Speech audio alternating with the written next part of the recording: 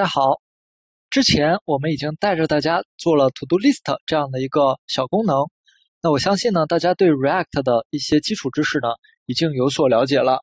那接下来呢，我们在这节课中将给大家讲解 JSX 语法中的一些细节点。打开我们之前的编辑器，在这里，首先我要给大家讲解如何在 JSX 的代码里面去编写注释。我们看哪一段代码是 JSX 呢？实际上，这段代码，也就是 render 函数 return 出的内容，它是一个 JSX 的语法块。那么大家呢来看，这有个 fragment。之前呢我说它是一个占位符，实际上如果大家仔细的听了之前的课程，你会发现呢，它的开头字母是一个大写的 F 来开头的。所以呢，在底层上面，其实 fragment 是一个。G s x 里面对应的一个组件，大家还记得吗？我们说以大写字母开头的这样的元素，我们把它叫做组件；而像这些以小写字母开头的这样的一些内容，我们把它叫做一个普通的元素。好，那如何在 g s x 里面写这个注释呢？其实非常的简单。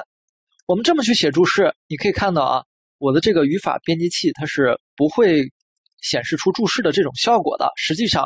在 JSX 里面去写注释，你也不能这么写。我们呢可以写在上面尝试写一个注释，或者在这个内部吧。我们说下面是一个 input 框。好，怎么写注释呢？大家来看，我们的注释要这么来写。首先，我们通过一个花括号，把我们要写的注释内容放到这个花括号里面。大家还记得花括号里面放的东西代表的是什么吗？它代表的是一个 JS 的表达式。好，那么在 JS 里面，我们如何写注释呢？我们在这里面这么去写普通的 JS 注释就可以了。大家可以看到，那么你在 JSX 的语法里面去写注释，这么写注释是不会有问题的。我们保存一下，然后到网页上刷新。我们看控制台。我们点击进来，input 框上面不会有任何的内容展现出来，也就是说，这个注释只在开发的时候对我们有意义，而真正的代码啊，在运行的时候，这个注释里的内容它不会显示在页面的任何区域上。好，当然呢，你也可以不这么去写注释，你可以在里面写单行的注释，当然单行的注释就要这么去写了，你要换行一下，说下面是一个。Input 框，好，这么去写注释也是可以的。为什么不能把这三个东西放到一行呢？因为如果你放到一行，大家可以看到，哎，它会认为后面的这个闭合的花括号也是注释中的一部分了，所以你的代码就会出错。所以如果用单行注释，你需要把这个注释单独放在一行里面，花括号单独放在一行里，这就是 JSX 里面写注释的方式。那么接下来呢，我们来给我们的这个 To Do List 增加一点样式。我们呢，首先在 src 目录下创建一个文件，叫做 style 点 css。好，回车，我们创建了一个 style 点 css 这样的 CSS 文件，在里面呢，我加一个点 input 这样的一个选择器，或者这样一个 CSS 的类。我们呢，让 input 框的边框来一个一像素的红色边框，保存，然后我们关闭掉这个文件，那进入到 To Do List 这个组件里面。我们说了，在 React 里面，我们可以借助脚手架赋予我们的能力，在一个 JS 文件里面去引入一个 CSS 文件。那怎么去引入呢？Import，直接引入。当前目录下的 style 点 css 文件，然后呢，我们就可以在这个 input 标签上面给这个 input 增加一个 class，让它等于 input。好，保存，然后我们到页面上，大家可以看到，哎，你的 input 框已经有一个一像素的红色边框了。但是这个时候，我们打开 console 控制台，大家可以看到，它会提示一个。警告 warning，那它的警告是什么意思呢？我来说明一下。React 里面它会认为 class 实际上是一个类，它呢这个关键词会和我们上面定义组件的这个 class 的关键词同名，所以 React 就会认为，哎，如果你一个样式用 class 去定义的话，会和这个定义类的这个 class 有混淆，所以它不建议我们在元素或者组件的这个样式上面使用 class 这种形式去定义这个元素或者组件对应的 CSS 的这个类名。那他推荐我们怎么写呢？我们用 class name 来代替 class 这个关键词，这样的话就是一个 React 里面认为比较标准的写法了。所以呢，我们把 class 替换成 class name，再来保存，回到页面上刷新，你会看到边框正常的显示和 class 哎一样的效果。但是同时呢，它在 console 里面就不会报错了。所以大家要记得，当你在 React 的 JSX 里面去使用样式对应的这个 class 名字的时候，不要再使用 class 做定义了，取而代之，我们用 class name 来定义你到底要采用的 CSS 的类的名字。好，继续，我们呢再来讲一个东西。我们看页面，如果我在页面里填了一个 H1 这样的一个标签进去，说 Hello World，然后我们点击提交。这个时候，大家可以看到，哎，我们点一下，Hello World 没问题。但是如果我们加一个 H1，写一个 Hello，咱们来看，哎，我的 Hello 外面呢就会被一个 H1 这样的字符串包裹上。但是有的时候呢，我希望是什么样的？当你输入 H1 的时候，你不要对这个 H1 这个标签。做一个转译，你不转译就好了。你把它变成一个大大的文字标题形式的文字，是我们想要的效果。那如果有这样的需求的时候，我们可以怎么做呢？我们可以这样来做：打开我们的代码，当我们循环立标签的时候，哎，我们需要把每一项的内容通过 item 展示出来。但是呢，如果这么写，我们刚才也看到了，你展示出来的内容呢，实际上它会帮你把 H1 做一个转译。啊，如果你不想做转译，你要换一个语法来写。怎么写？这么来写：dangerously set inner HTML。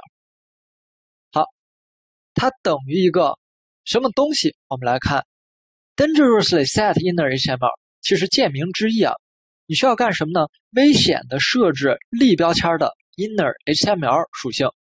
好，也就是说呢。既然是危险的设置，所以它肯定不会做转译，就存在 XSS 被攻击的可能。不过有的时候呢，你确实需要这种，啊不转译的设置页面上的内容的时候，该用它也得用。我们可以看到它后面跟了一个花括号，就意味着花括号里面一定跟着一个 JS 的表达式。那其实呢，你要继续往下去写，再写一个花括号，那这是什么意思？这表示花括号里面这是一个 JS 表达式。这个表达式就是一个 JS 对象，所以这块这个花括号代表的是一个 JS 对象。那这个对象里面呢，我们要写两个下划线，然后 HTML 代表着是什么呀？就是立标签里面我要往立里面显示什么东西呢？我们要显示一个 HTML 这样的一个属性，它的值是什么呢？它的值是 item，也就是我们循环过程中产生的这个 item。好，那如果你这么去写。立标签中间的这个 item 就没必要来写了。好，我把中间的这个 item 给它去掉，保存。咱们回到页面上，再来写一个 h1。我们写一个 hello world，提交。大家可以看到，这个时候你的这个 hello world，或者说你写一个 h2 都是没问题的。好，它呢都会帮助你。不转移，直接以 H2 的形式显示出这个内容出来。那怎么做到的？就是借助于我们的一个 dangerously set inner HTML 这样的一个立标签的属性值。所以大家要知道，如果在 JSX 里面，我们希望显示一些内容，这些内容呢，我们不希望它被自动的转译的话，那么我们就通过 dangerously set inner HTML 这个属性来对它的内容进行设置。那么后面跟的内容基本上也是一致的，都是两个花括号。哎，外层代表内层是一个 JS 表达式，其实内层呢就是一个 JS 对象。然后这个对象里面呢，你要写一个属性，叫做下划线下划线 HTML。那么它跟的后面的这个内容，就是我们要不转译显示在页面上的内容。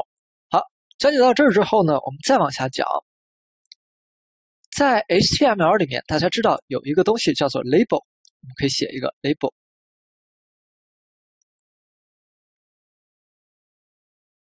我们呢写一个输入内容，保存，然后我们到页面上来看，刷新。好，我们这有一个输入内容。在 HTML 之中，label 的作用是什么？label 的作用呢是扩大点击的一个区域。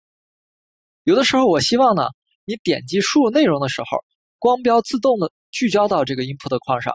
那怎么做？我们一般会这么做，我们会给 input 框加一个。id 等于起个名字，比如说叫做随便来一个叫输入框 insert area，然后呢 label 上面会有一个属性叫做 for，让它等于什么呢？等于 insert area。我们保存一下，回到页面上刷新。当我点输入内容的时候，大家来看啊，我刷新，哎，光标会自动的聚焦到这个 input 的标签上。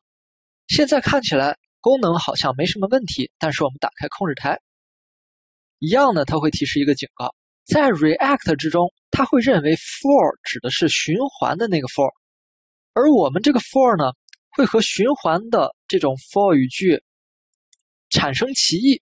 所以 React 呢说，如果你要在 label 上加 for 这个属性的话，你不要用 for 了，你要换一个属性名，换成什么呢？换成 HTML for 这么来写就可以了。当我们这么去写了代码之后，保存，回到页面，我们点输入内容，一样的可以自动帮我们做光标的聚焦。同时，你可以看到控制台里面没有任何的代码警告了。好，讲解到这儿呢，我们就把 JSX 里面一些细节的编码知识点给大家梳理了一下。首先，我们讲解了注释。应该怎么写？大家还记得吗？花括号里面这样的形式来写注释。然后呢，我们又讲解了 dangerously set inner HTML，啊，让我们的某些标签里的内容不被转译。同时呢，我们还讲了样式，我们要用 class name 来定义对应的 CSS 类名。然后呢，label 的 for 标签我们要替换成 HTML for。好。这节课呢，就简单的给大家讲解这么多，大家加油！